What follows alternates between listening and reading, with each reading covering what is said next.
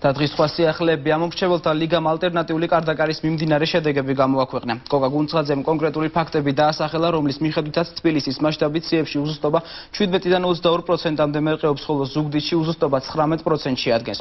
ამომრჩეველთა ლიგა სამ ეტაპზე სამუშაოების ძირითადი ნაწილი დასრულებული აქვს. კოკა გუნცღაძის განცხადებით, ამომრჩეველთა ლიგა საბოლოო შედეგებს 10 დღის განმავლობაში გამოაქვეყნებს. როგორც ლიგის თავმჯდომარე აცხადებს, სიებს შორის უზუსტობა მომავალი არჩევნების გაყალბებაზე მეტყველებს. ლიგა თავის შედეგებს უახლოეს მომავალში შესაბამის სახელმწიფო უწყებებს გადასცემს, თუმცა კოკა გუნცაძის განცხადებით ის ხელისუფლებისგან სიებში რადიკალურ ცვლილებებს არ ელოდება.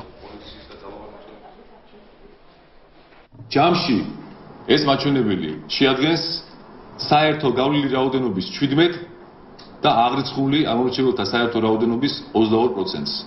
სწორედ ეს 17-დან 22%-მდე უზუსტობის მაჩვენებელი ერთიან საარჩევნო სიაში წარმოადგენს ამორჩეველთა ხმების ფალსიფიკაციის საფუძველს.